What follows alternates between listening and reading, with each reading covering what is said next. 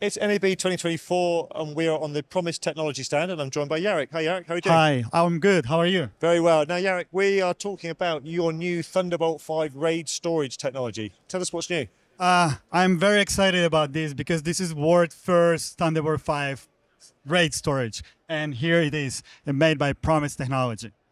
And just give us a quick idea of how the speed compares to Thunderbolt 4 and your previous generations. So the Thunderbolt 5 speed compared to Thunderbolt 4 is double the speed and triple for video data.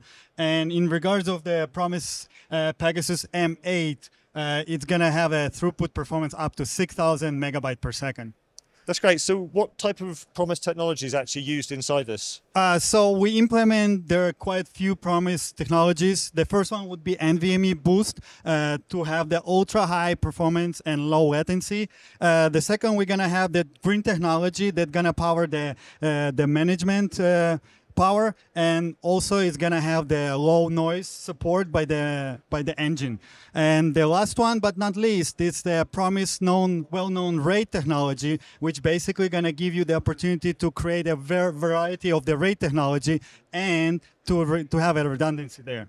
And in terms of capacity, what are we looking at? uh, their capacity would be starting from 16 terabyte and up to 64 terabyte, and uh, it's going to be all NVMe, all hot swappable, re- really easy to replace. Also, we do support QLC and TLC SSDs in case if needed. Cool. So, the big question is when's it available? Uh, so it's going to be available probably by the end of this year because we are mostly uh, waiting for Apple and Intel uh, hosts to be connected with. And once it's available, we are ready to release the product.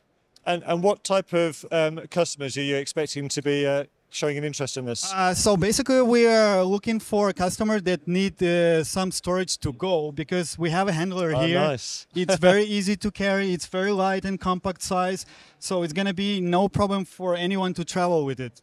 So, what's the compatibility of this product? Uh, so this product is compatible with latest Windows OS as well as the Mac OS and M series chip from Apple. Fantastic. So, people that aren't at NAB, where can they find out more information? Uh, they're gonna be. Uh, they they can look forward for our website updates, or they can contact any sales representative on their region. And the website is? Uh, promise technology. Uh, promise.com.tv. Derek, thank you very much indeed. Do check out the website for more information on that. And we're doing a couple of other videos here with Yarik and the team at Promise Technology. So look out for those on the channel. For everything else we're doing at NAB, that's at kitplus.com.